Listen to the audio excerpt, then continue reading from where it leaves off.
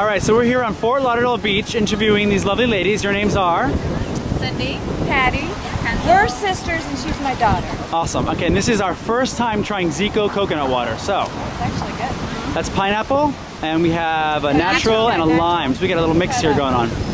Oh, we're sharing. Awesome. I like that one better. Yeah. The pineapple's better. You like the pineapple's your favorite? Try that one. Yeah, I like the pineapple.